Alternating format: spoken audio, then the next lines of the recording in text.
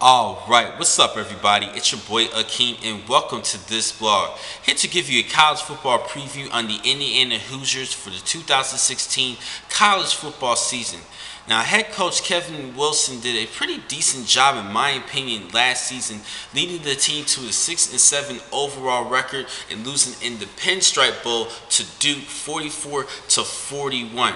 Now, I must say, I actually liked this team last season. Even though they didn't have a winning record, they still showed a lot of talent on the offensive side. But this is going to be a tough break for them because Nate Sudfeld is no longer their quarterback. He is now with the Washington Redskins organization trying out for their team to make that uh, 53 man roster. This is going to be a tough break for Indiana. And it looks like as of today, Richard Lagow is actually going to be leading the way at quarterback to step it up to replace Nate Sudfeld. So Kevin Johns, who's the offensive coordinator for the Hoosiers, is going to have to help out uh, um, Lagow, uh, Rich uh, a little bit more um, to try to get more experience and have a better understanding of the offense.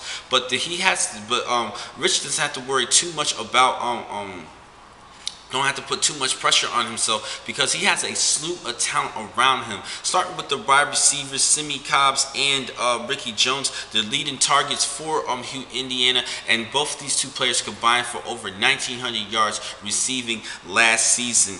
Now at running back, um, Devine Redding is going to be the feature back for the Indiana Hoosiers. Last season it was Jordan Howard, and the previous season it was Tevin Coleman. And the reason, the main reason why they did so well running the football football is an all is because of an all-American candidate Danny Feeney, who actually is one of the um, um, big and all honor and, and, all honors of Big Ten uh, conference last season at center. He could also play the guard position. He's actually entered his fourth year as a starter for the Indiana Hoosier offense, and he's part of the reason why, actually the main reason why, my, in my opinion, why Indiana did a great job running the football so well because of Feeney's experience and his toughness. Now on the defensive side, they struggled a lot defensively especially particularly they struggled on the ground. Um, they but they but one of their best players is John Crawford, who had four interceptions last season to lead the team. This is I think this is a decent player, but other than that, they're going to need a lot of help.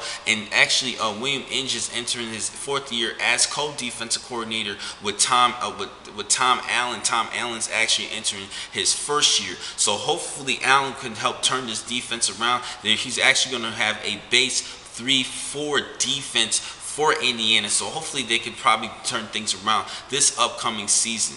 Now, despite the fact that they have a new quarterback in Richard Lagow, I actually see this team actually pulling off a six and six overall record from what they did last season and try to and, and become bowl eligible again.